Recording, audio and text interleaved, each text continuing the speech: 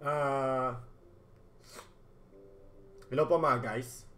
Uh, bago natin simulan tong video na to tungkol kay Estes, ang copycat ni Invoker, ang Becky ng Encantada, ang bagong champion na si Estes. Bago natin simulan to mga guys, may sasabihin po ako sa inyo.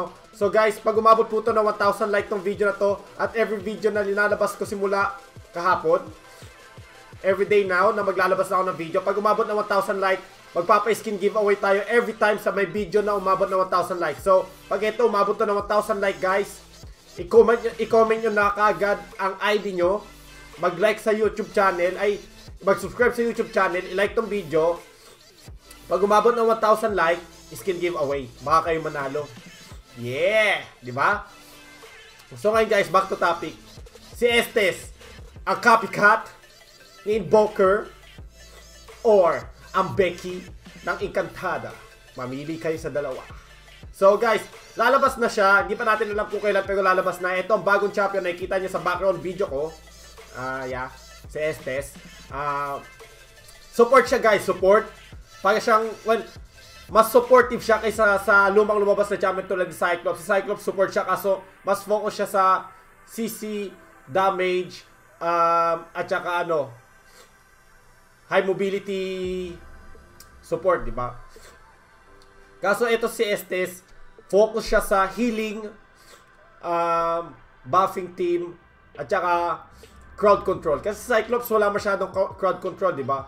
Kaso ito si si Estes ang copycat ni Invoker or a Becky ng Encantada, malakas sa crowd control. Kasi sasabihin na natin, ang tatlong skill niya, mga manlab people, putang ina, wag na ikukugap ang kanyang mga mata. Heto na, malapit na. Okay, ang first skill niya is that pwede siya mag-link sa teammate at may heal or i-discharge. Palalakasin niya yon Palalakasin niya ata yung attack. Hindi ko kasi na-gets yung ano eh.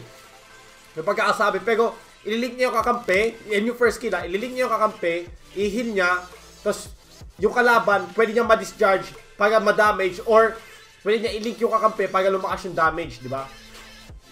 Yung second skill naman niya guys is gagawa siya ng crowd control. Pagka kay Gord yung second skill niya, may bilog. Kaso kay Estes naman, pagka pag gagawa siya ng bilog or di pa natin alam kasi hindi pa natin nakikita. Pero kung gumawa siya ng bilog, yung second skill na yon pag ang teammate mo dumaan doon, bibilis yung takbo. Pag ang kalaban, may slow. Oh, ha? Crowd control, motherfucker. Diba? Yeah! Alam na alam na this. Ang third skill niya naman mga guys is um, yung ulti niya is uh, maglilink niya yung mga kampe. Yung mga kampi niya. Tapos palalakasin niya yung damage. Tapos pwede mo din i-heal sabay-sabay. Oh, di ba? So, yung first skill niya mapupunta sa lahat ng teammate or several teammates kasi ba tatlo or dalawa or apat pero sana apat para mas maganda, di ba? Para lumakas yung bawas tapos pwede niya ata ma-heal.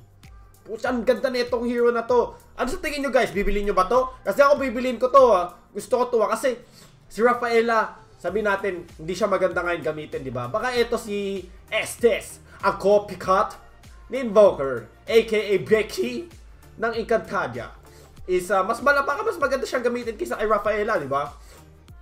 May crowd control siya, may ano slow, yung ulti niya maganda. Pwede mo, ito magandang combo kay ano ah, sa tingin ko kay Estes ah, si Balmon.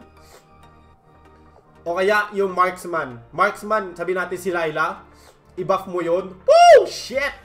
Shit! Or, i-buff mo lang yung ano, yung i-heal mo lang palagi yung tank. Shit! Ah! Di mo mamatay unkillable tank. Shit, lam na this.